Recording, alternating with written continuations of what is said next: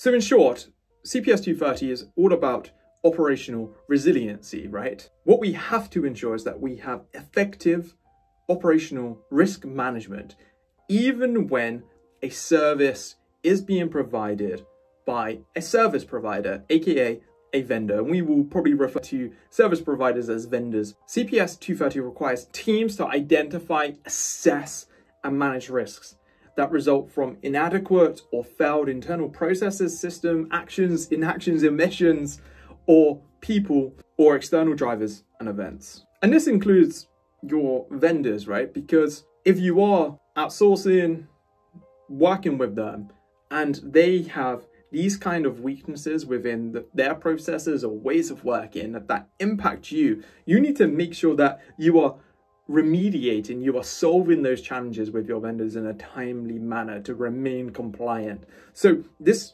automatically means that our attention should be focused on bringing on board vendors that are CPS 230 compliant. So that's going to shape our thinking there as well. Now, teams must also have in place a system to manage contracts across their entire life cycle. So already we've got two distinct challenges. We need to bring vendors on board that are going to be compliant, that have really stringent really well thought out risk management processes when it comes to operational risks. Then we need to embed this into the contracts. We need to have a clear method of storing contracts, reviewing contracts, approving, signing contracts, and then monitoring the entire life cycle of the vendor and the contract's performance. So this is where we start to bring in vendor contract lifecycle management. And that's a VCLM approach that we at Gatekeeper have kind of coined and we're pioneering. And this is where you bring vendor lifecycle contract lifecycle, and third-party risk management together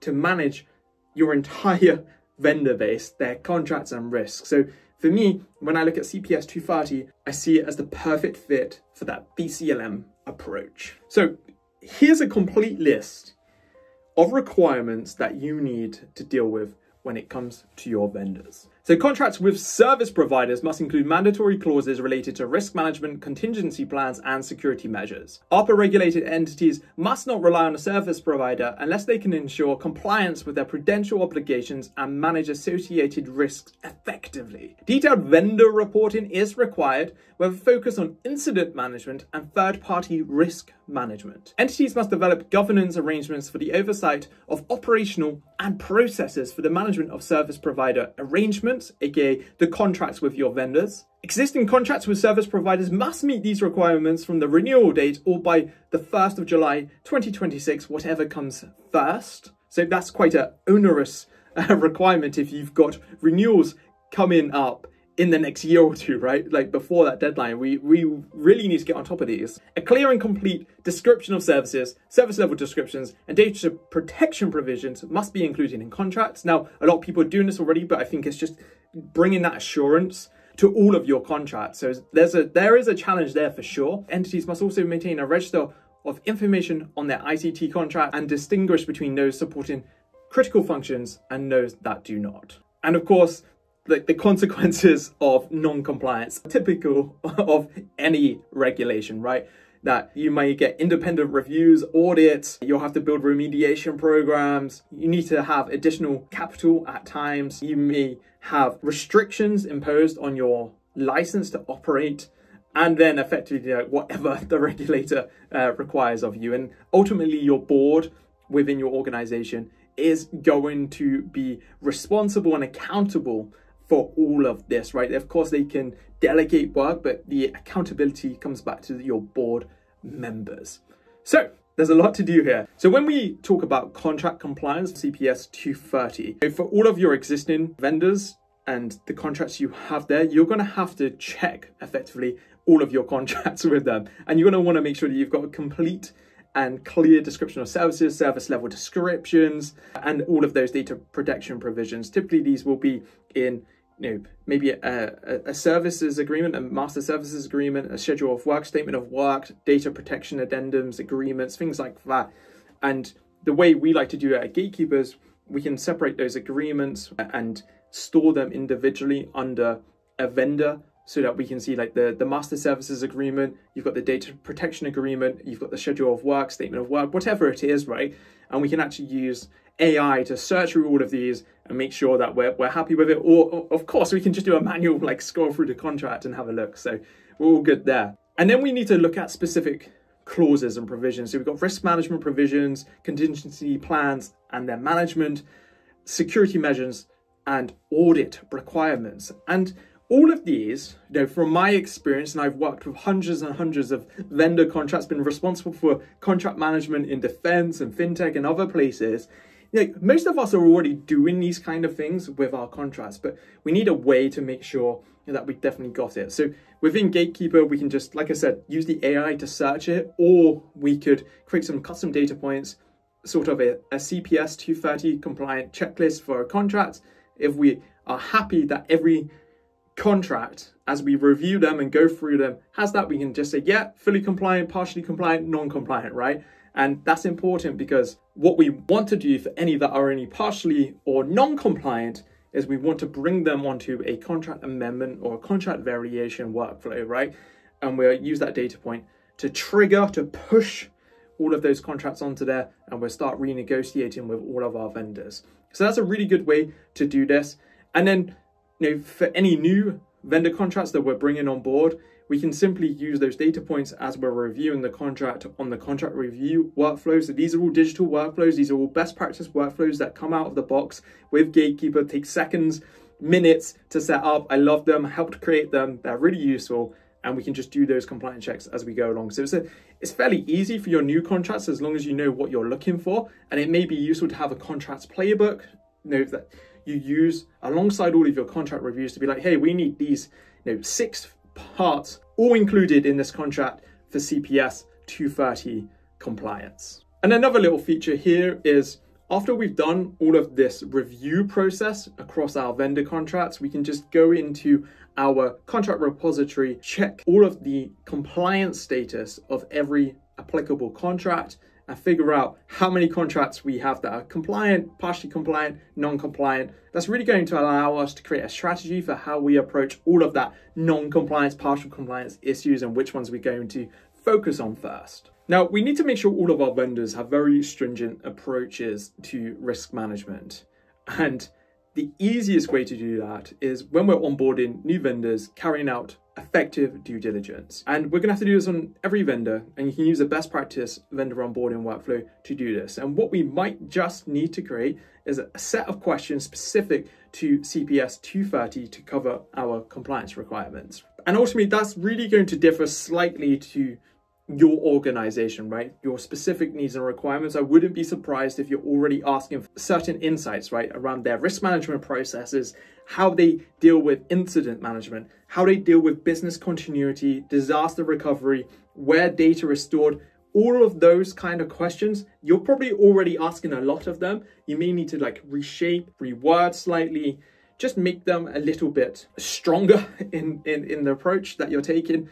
But ultimately, it's probably going to be an iteration here rather than doing something completely new. Whereas on the contracting, I'm hoping it will be an iteration, but for some of you, it may be a completely new requirement to make sure you've got all of those things locked in. Now, we also need to do detailed vendor reporting for CPS 230, especially around two key areas. So the two key areas are incident management and third-party risk management.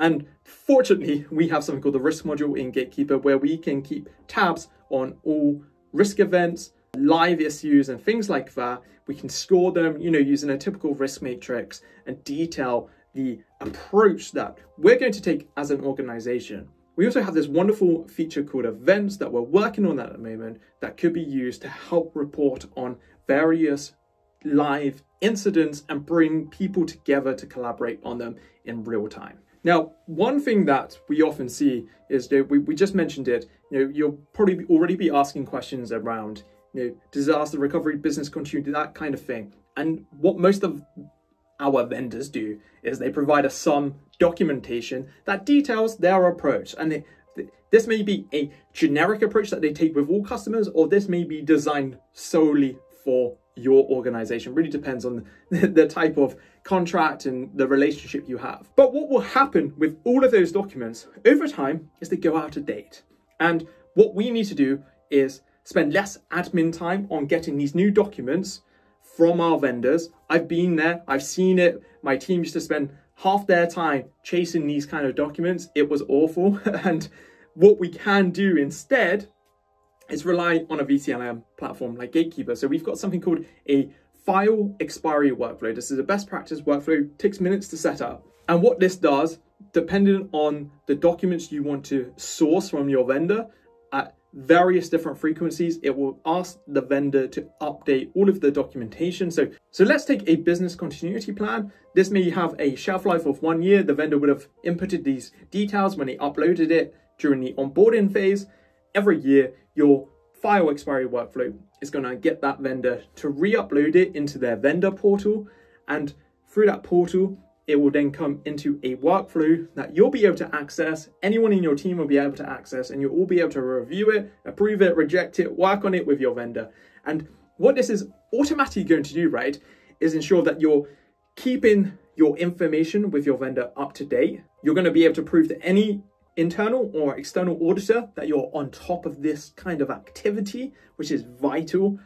And ultimately, it's going to lead to greater collaboration because when these documents come through, you'll be able to sit down with your teams, review them, speak with your vendor about it, make any changes that are needed, and it's just going to help really drive a collaborative effort around compliance here. So this is a really easy way to get way more compliant way quicker. So I'm a big fan of this. Now, just one point on third-party risk management that I've not gone into just yet, but we have something called Market IQ, which is checks around credit checks, cyber checks, PEP sanctions, things like that, organizational structure. And with Market IQ, we're going to carry out checks 24 7, 365 days a year on all of your vendors. So we've got all of this proactive work happening around collating information, reviewing it from our vendors.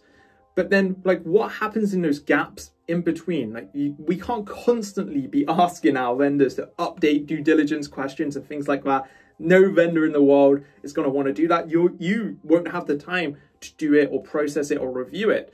So with Market IQ, it's running in the background all the time, automated checks, risk mitigation workflows, say if a cyber incident happens, their health goes down.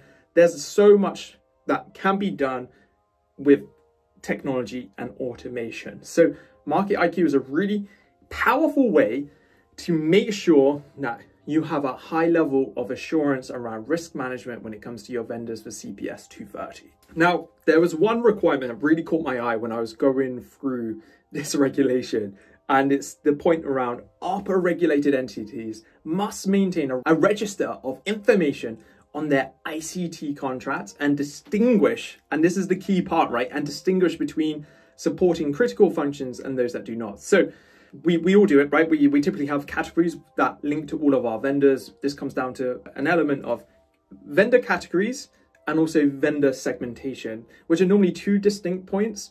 But for the benefit here, we're going to really focus on the categories. So whether it's like ICT, you know, facilities management, those kind of points, right? And one thing that instantly I was thinking about is like this, this is actually not too difficult to do when you're using tech. But, you know, if you're using a spreadsheet, and you have got a lack of control over how you are categorizing your vendors, this could get a bit tricky. But for us, we're using technology. We've got a VCLM platform here. And straight away, I've created two new categories. That is ICT critical and ICT standard. And this is all for the purposes of CPS 230. So all of my vendors and all of those contracts that are going to support critical functions will get the ICT critical categorization and everything else will get the standard. And what we can then do is build reports for each of those to clearly give those to any auditors, to the regulators, and show that, hey, we are completely on top of this. We have every category, we have clearly documented if they're supporting a critical function or not. We can see them all in one place. We can monitor these more stringently than the other ones. And it just shows, I think, here that you are giving a high level of assurance to your regulators, to your customers. And I know many of you have probably gone through audits they are scary, right? As soon as a auditor gets a whiff that you may not be doing something just right or not to a high enough standard, they start looking even more. And this is just going to shut that down. This is really going to enable you to show straight away that we're on top of this. We have a strategy. We've got these digital workflows working in the background. We've got clear categorization of these, these vendors and the contracts. We can show you that we have all the relevant information in our contracts. And for any that we don't have, we're clearly working on those with our variation process. So this is really, really cool stuff.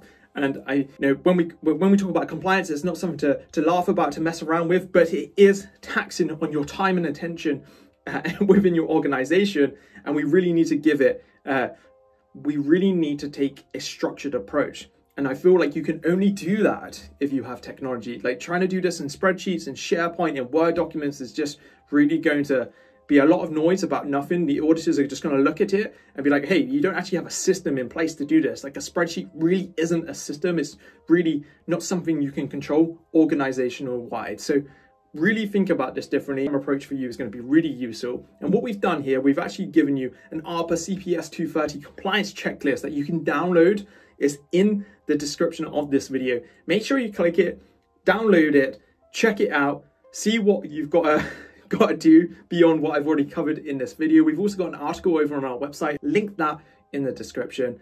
And if you need any help with your CPS 230 requirements and you're thinking about how do we implement technology to assist us with this, we have experts based in the APAC region in Australia and New Zealand that can certainly help you with this. So get in touch below by just clicking on, I want a demo of Gatekeeper and we'll sort that out for you.